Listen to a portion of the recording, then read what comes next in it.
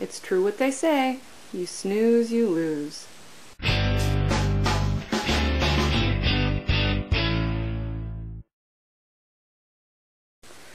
Bill TV Macon recently uploaded a video where he used clips of other people doing their videos Bill TV Macon style.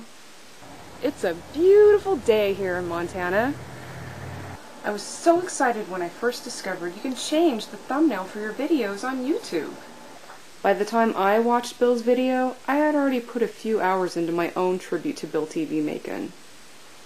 Almost every inch of snow we just got is finally almost melted away. Now instead of this being my thumbnail, the world will see something more like this.